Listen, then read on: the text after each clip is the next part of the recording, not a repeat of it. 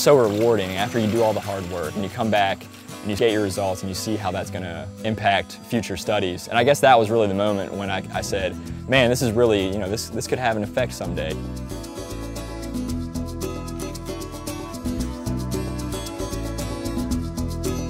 When you're working on any task that's spread over three years, there's always points where you're like, why am I doing this? But working with the students really, really kept me going and motivated. I knew in the end, when I got a PhD, I'd be able to teach these students in a real job, and I just kind of used their motivation to help me get through. Every day you help somebody, they learn something new, you see that light bulb go off, and you can't beat that feeling.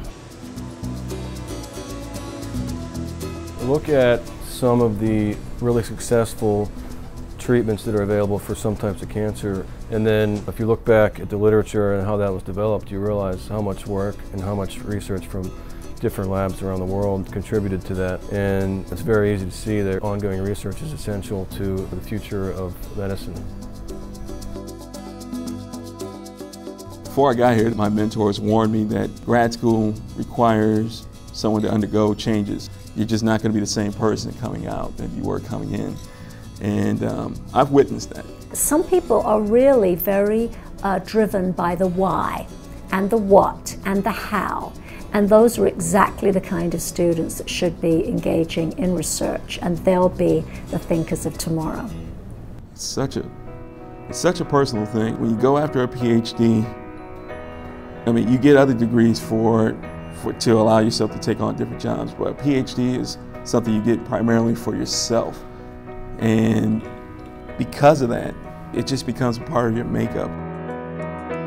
I really find teaching rewarding, working with students rewarding. I like that human contact and helping people. I really got a lot out of my faculty here, so I thought this would be a great place to become a faculty member. I got offers from other, other places, and I just didn't feel like home there like it does here, kind of like a sense of community, and I thought it'd be great to be able to give back.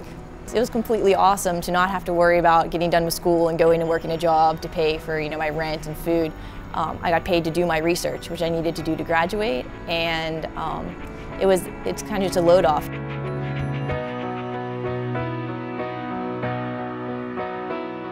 We need to provide opportunity for the very best thinkers to be able to invest themselves completely in the intellectual journey in order to move us ahead. We would hate to think that money uh, stood between any thinker of tomorrow and the um, invention or the patent or the license that they have the capacity to create.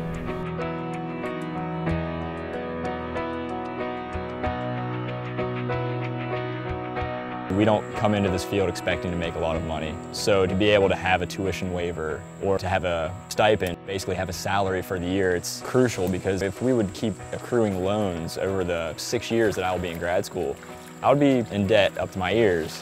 Now I've found my niche. I want to keep getting better, and I think that's what staying a grad student allows you to do. You always stay on the cutting edge, not settling with where you're at right now. I want to know more, and there's always more to learn.